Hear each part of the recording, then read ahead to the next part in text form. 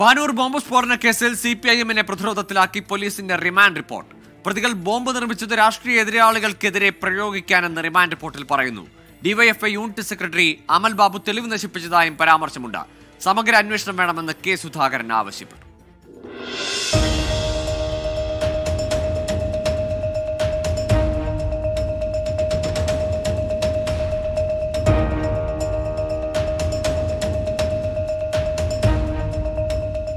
C P I M സംസ്ഥാന സെക്രട്ടറിയുടെ രക്ഷാപ്രവർത്തനവാദത്തെ remand report നിരാകരിക്കുന്നു. DYFI unit secretary Amal Babu ബോംബുകൾ ഒളിപ്പിക്കുകയും സ്ഫോടനം നടന്ന സ്ഥലത്തെ തെളിവുകൾ നശിപ്പിക്കുകയും ചെയ്തുവെന്ന് റിമാൻഡ് റിപ്പോർട്ടിൽ പറയുന്നു. പ്രതികൾ ബോംബ് നിർമ്മിച്ചത് രാഷ്ട്രീയ എതിരാളികൾക്കെതിരെ പ്രയോഗിക്കാൻ പ്രതികൾക്ക് ജാമ്യം അനുവദിക്കുന്നത് രാഷ്ട്രീയ സംഘർഷത്തിന് വഴിവെച്ചേക്കാമെന്നും റിമാൻഡ് റിപ്പോർട്ടിലുണ്ട്. ആറ് ഏഴ് പ്രതികളായ സി സായുജ് അമൽ ബാബു എന്നിവരുടെ റിമാൻഡ് റിപ്പോർട്ടിലാണ് പ്രതികളുടെ രാഷ്ട്രീയ ലക്ഷ്യം പരാമർശിക്കുന്നത്.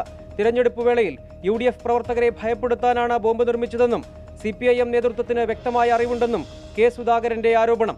പാർട്ടിയുടെ പ്രാദേശിക തലത്തിൽ ചർച്ച നടത്തിയാണ് ഈ ബോംബ് സ്ഫോടനത്തിന് തുടക്കം കുറിച്ചത്. രാഷ്ട്രീയമാണ് തെരഞ്ഞെടുപ്പ് രംഗത്ത് കോൺഗ്രസിന്റെ ഇടതുപക്ഷ യു ഡി എഫിന്റെ ആളുകളെ ഭയപ്പെടുത്തി ആശങ്കാപരിതരാക്കി തെരഞ്ഞെടുപ്പിന്റെ ആക്റ്റീവ് സ്ക്രീനിൽ നിന്ന് മാറി നിൽക്കാനുള്ള ലക്ഷ്യം വെച്ചുകൊണ്ടാണ് അവർ ഈ തീരുമാനം ഇംപ്ലിമെന്റ് ചെയ്തത്.